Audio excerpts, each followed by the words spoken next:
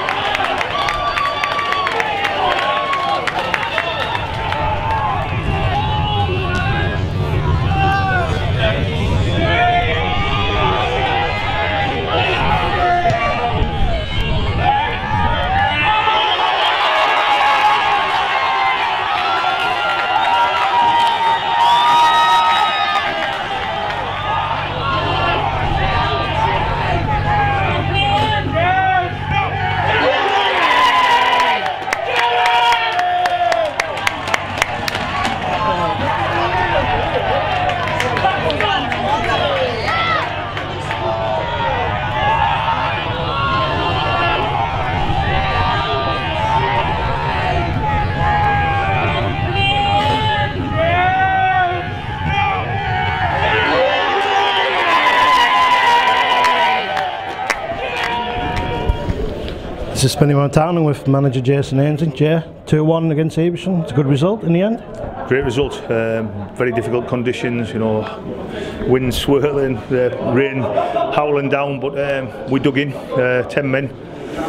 you know, it was a big win for us today because I think times gone by would have probably um, threw that away. Um, we didn't play our best, nowhere near, um, but we could have won. We could have won by, won by more. Fish had a great chance, Frosty's had a good chance, but uh, you know, on the day, I thought we were the better side. You know, and going down to ten men's probably galvanised a little bit, and subs made a difference.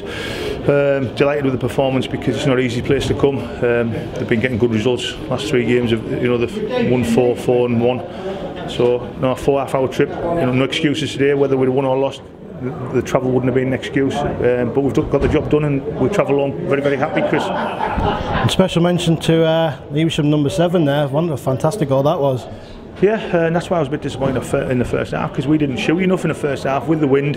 You know, we we, we, we had a lot of the possession, but we didn't create enough chances, and, and it just shows you what happens if you if you if, if you shoot from long range, you'll get a goal. And, he, and he, I mean, it was a great strike, but we've come back into it, and um, you know, and we've scored a brilliant goal ourselves to win the game. Great ball by Hawkins and Frosty uh, back post smashed it in. So absolutely delighted for the supporters who've travelled down here in the numbers. I know the chairman's looked after them, but to bring nearly 60, 70 supporters down here, four and a half hours. Absolutely delighted for them. And on to uh, Saturday, at to Bamba now. Yeah, another tough test. Another tough test. Uh, I, I see Glossop got beat today. There'll be there'll be twists and turns on the way. You know, no doubt we'll get beat, but it was important today that we went went through. Um, and, and, you know, the next round because I believe on our day we, we can beat anybody. You know, we didn't play great football today, but we dug in, and that's the main thing. Going four and a half hours home, um, a very happy manager.